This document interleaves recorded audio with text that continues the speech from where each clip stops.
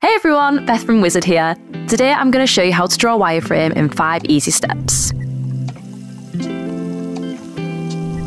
Step 1. Decide what device type you're designing for. I want to design an e-commerce app that sells jewellery, so I'll be wireframing for mobile devices. For this, I'll need to draw a mobile device frame for our first screen, which will be a homepage. Step 2. Draw your design navigation first.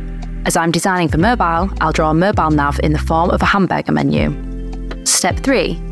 Centre your design around your product or USP. So I'll add a hero image at the top. Step 4. Add image blocks, text blocks, and other large elements. I add in a product image block and some text for my brand name and tagline. Step 5. Add in CTAs and other navigational elements. I'll add a call to action to demonstrate how my users will make a purchase on my store. Which means I'll need to add some more screens to my design, such as a product display page and a basket screen. Congratulations! You've just learned how to draw a wireframe. But what comes next? With Uizard Wireframe, you can transform your sketches into fully editable mockups.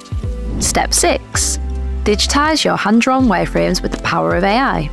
To upload to Uizard, all we need to do is start a new project navigate to the magic bar, and select Uizard's wireframe scanner. From here, all I need to do is scan the QR code. I then take a photo of my sketch and upload it. In no time at all, Uizard has digitised my wireframe sketches into fully customisable designs. From here, I can update imagery, text elements, or add in new components.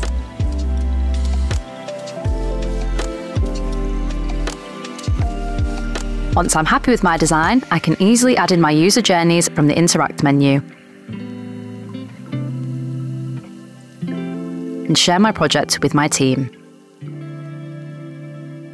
And there we have it. Now you know how to use Uizard Wireframe. Subscribe to our YouTube channel or head over to the Uizard blog to learn more about the world of UI design. Have a magical day!